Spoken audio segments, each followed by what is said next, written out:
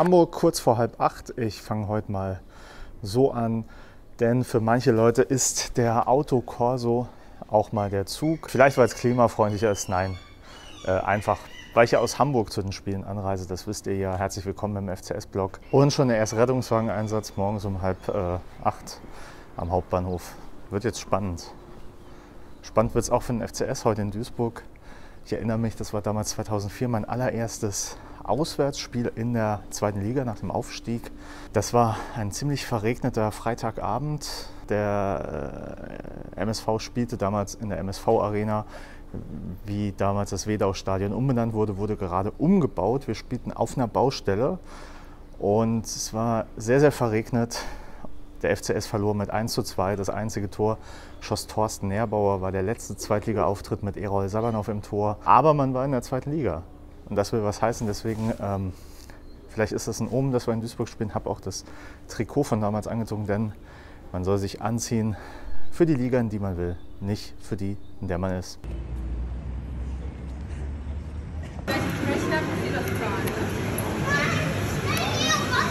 So, geht's so. Vollgas. In Duisburg gibt es schon die Leiter in die erste Liga.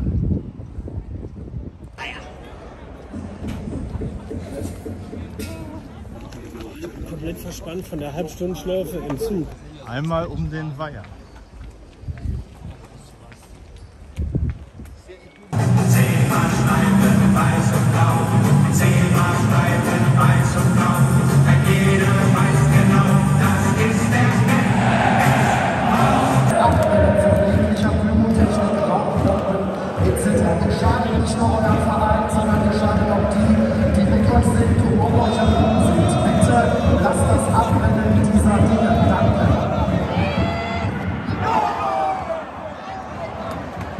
Merkt, das war wieder ein Stadion V-Log. Das war ein Spiel.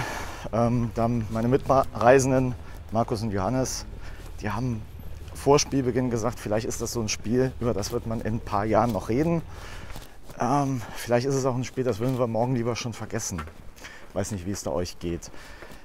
Der FCS weiß um die Ergebnisse vom Wochenende, weiß, dass er den Druck hat, dass er selbst für die Ergebnisse sorgen muss. Jetzt kann man sich viel ärgern über den MSV Duisburg. Fairerweise finde ich, muss man sagen, der MSV Duisburg, der hat nicht gespielt wie eine Mannschaft, für die es um gar nichts mehr geht. Ganz im Gegenteil. Ähm, der hat sich echt reingehauen. Ein Tick weit zu viel. Das war vielleicht ein Tick weit dann zu emotional. Aber was für ein Spiel haben wir gesehen? Spiel. Ich fand, der FCS war drückend überlegen. Viel investiert nach vorne, hat viel versucht, vor allem über äh, die Seite von Gauss, über Kasim Rabihic. Hat aber nicht so recht das Mittel gefunden, um da vorne wirklich zu Torgelegenheiten zu kommen. Und wie es dann in solchen Spielen ist, das Tor macht dann erstmal die andere Mannschaft äh, auf eine relativ einfache Art und Weise, fand ich, ähm, wo auch zu wenig Druck gegen den Mann ist, wo keiner so wirklich den äh, ballführenden Mittelfeldspieler attackiert. Und der kann einfach den Ball in den Winkel schlänzen, Traumtor. Ähm, 0 zu 1. In der Folge entwickelt sich dann ein sehr hitziges Spiel, wo es einfach innerhalb von 10 Minuten dann zwei gelbe Karten für einen denselben Abwehrspieler gibt. Bei zweiten gelben bin ich der Meinung, vielleicht war das schon eine Notbremse, aber man ist ja auch in der Hintertoransicht. Weiß man ja nicht so wirklich, ist er dann letzter Mann. Und in der Folge hat der FCS halt wieder Momentum und auch mehr Räume. Duisburg beginnt da schon ein bisschen den Bus zu parken. Aber wenn man eben den Ball nicht nach vorne durchbringt, dann macht man es mal aus der Distanz. Und Calogero Rizzuto schafft einfach mit einem wunderbaren Fernschuss dann den Ausgleichstreffer. Und in der Folge verliert man wieder so ein bisschen den Fokus. Hat den einen unnötigen Freistoß, den man dann nicht konsequent wegverteidigt. Und dann passiert da das Eigentor von Becker bzw. Tor von Girt. Das war im Stadion nicht so ganz ersichtlich. Und man rennt wieder gegen den Rückstand. Man rennt gegen den Rückstand. Und der Druck wird von Minute zu Minute größer. Und in der zweiten Halbzeit hat man dann auch wieder dann durch einen äh, Schuss aus der zweiten Reihe mal Glück. Denn Duisburg wirft sich mit Mann und Maus in jeden Schuss hinein, blockt alles ab und trotzdem ist ja die Frustration da, weil der FCS versucht sich mal durchzukombinieren, es steht noch ein Bein im Weg, mal ist er dann sich auch selber im Weg, weil dann einfach der eine Haken zu viel gemacht wird, der eine Pass zu viel, wo man vielleicht hätte abschließen können müssen, was weiß ich. Immerhin Rabic noch den Ausgleichstreffer gemacht. Und kurz danach äh, denkt man, das ist die Riesenchance, dass es nämlich noch eine völlig berechtigte rote Karte für den MSV gibt. Ich glaube, auf Duisburger Seite wird man mit dem Schiedsrichter hadern. Bisschen zu Unrecht. Was ich sagen kann, in der ersten Halbzeit gibt es eine Situation, da könnte ein Handspiel vorgelegen haben von Richie Neudecker. Der war eh so ein bisschen sich selber im Weg. Aber der ist ja auch ausgewechselt worden. Das war, glaube ich, zu dem Zeitpunkt die richtige Entscheidung. Da hat man ihn auch ein bisschen vor sich selber geschützt. Aber insgesamt war auch äh, gegen Ende dann die rote Karte für Manu Zeitz vollkommen berechtigt. Er ist letzter Mann. Äh, der Duisburger wäre durch und das ist dann eben rot. Ne? Können wir nichts machen. Jetzt können wir noch über diese hitzige Schlussphase reden. Irgendwann werden halt die Mittel limitiert, wenn eine Mannschaft hinten drin steht, alles verteidigt. Man sieht eigentlich zehn Variationen von zwei, drei Spielzügen, die wir alle kennen.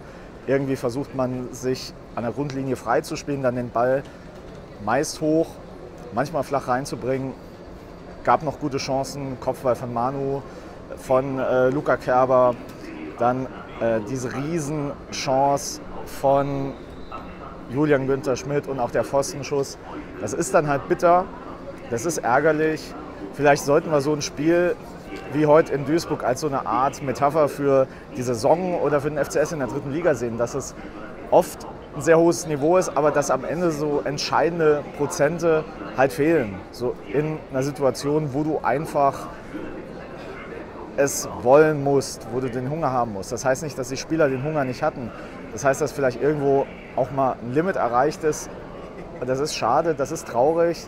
Das lässt uns frustriert nach Hause fahren im wahrsten Sinne des Wortes. Das sollte uns aber nicht entmutigen, weil wir auch echt viel Gutes in der Saison gesehen haben, echt viel Entwicklung bei Spielern wie Rabic, wie Gnase, Gauss, Manu Zeitz, auch wenn er heute so die tragische Figur am Ende war.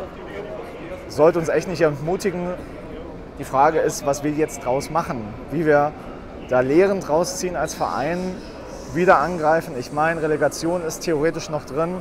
Ähm, man hat schon vieles gesehen im Fußball, man hat schon sehr, sehr vieles gesehen. Es kann immer noch was passieren. Deswegen machen wir vielleicht das ganz, ganz große Fazit erstmal nach dem letzten Spiel. Ähm, vielleicht sonst noch zu Duisburg. Ein bisschen hitzige Leute da auf der Tribüne. Muss man sich selber fragen, ob das so sinnvoll ist, da rüber zu laufen, wo auch Familien sitzen. Eigentlich war der äh, Slogan von den Duisburgern da irgendwie, äh, was war das irgendwie, eskalieren, gepflegt eskalieren. Gepflegt eskalieren ist was anderes, als wenn man da 90 Minuten in Molly macht und immer so macht, als wollte man rüber in einen Familienblock oder, oder zu den Sitzblöcken gehen. In dem Sinne, jetzt fährt der Zug ein, dann hört er mich gleich nicht mehr. Bis zum nächsten Video.